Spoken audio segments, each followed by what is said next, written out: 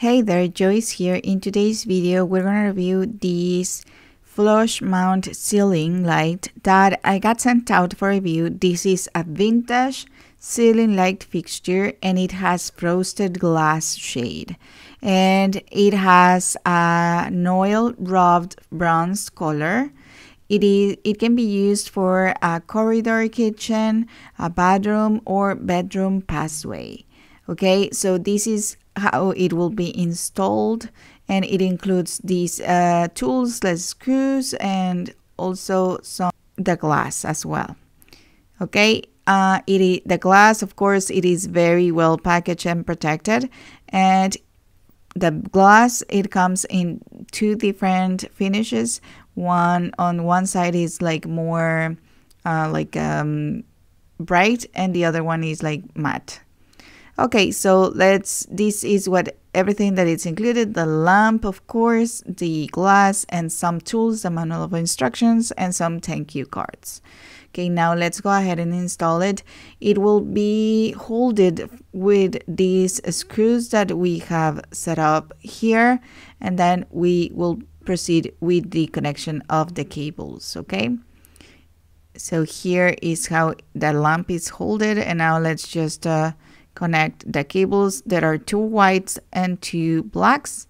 And now let's just uh, start uh, connecting them with each other.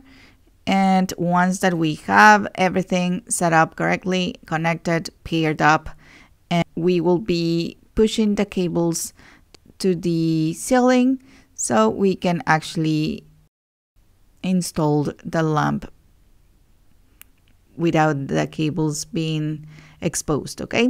So here is it is. Now let's just uh, ahead, go ahead and put the last screws that we need. Here we will just make it um, fixed and so it is very well protected. These are the two lights that we are putting. And let's just add the glass.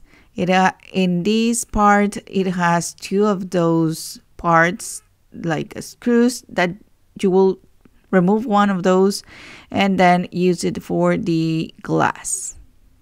Putting them together this way just make sure that you are doing carefully. And once that it's done it will look like this so as I said this looks like a little bit vintage but I love how it looks and it gives a lot of light to this bathroom. We installed in our bathroom and let me tell you that it is really, really nice. It gives a lot of light.